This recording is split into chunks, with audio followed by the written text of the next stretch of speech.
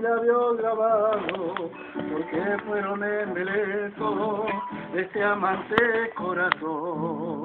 Esos instantes pasados, y esa evocación vivida de nuestras horas queridas, trae grata recordación sabrás que tras tu partida, añorándote vivido, olvídate no he podido, vuelve, vuelve mi querida, por tanta pena he sufrido, quiero recobrar la calma, por querida del alma, alegrar mi pobre vida.